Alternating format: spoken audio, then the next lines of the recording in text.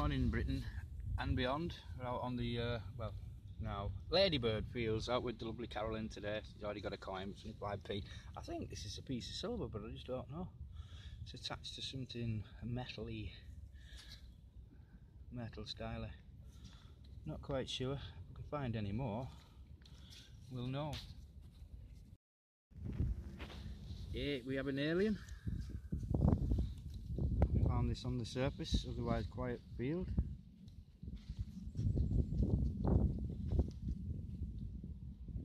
What you talking about, Willis? He's cool. A Few other bits and bats. Uh, and a worm. It's a beautiful day here, I must say.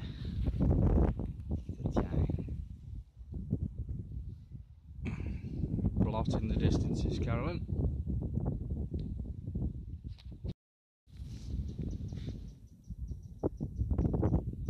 I could find or something similar.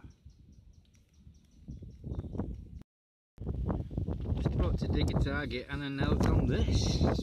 Coffee on this field, so it seems. It seems like uh, someone's having a chat with death or some kind of underworld scene. That's rather neat. I do like that.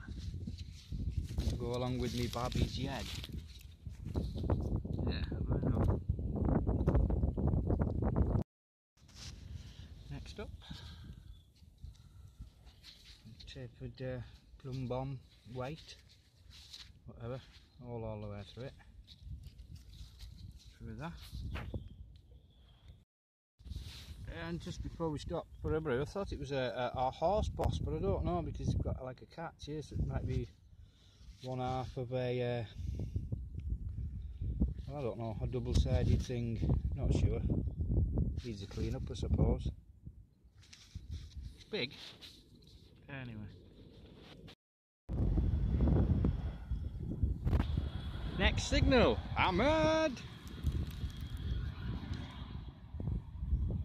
Two pound Warrington pein hammer.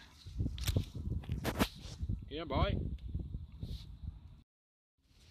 So, folks, uh, yeah,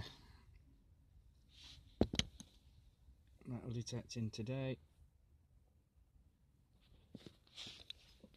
Lots of shrapnel because of where we were.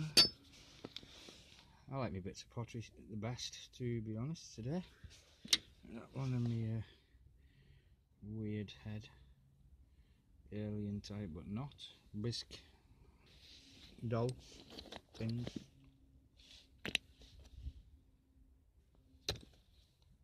It's porcelain.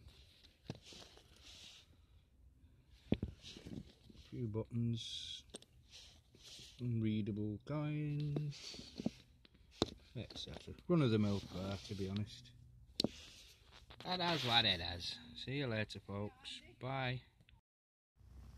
Okay, last find of the day from Carolyn. Have you heard there? Uh, a number plate. We won't bother unravelling it.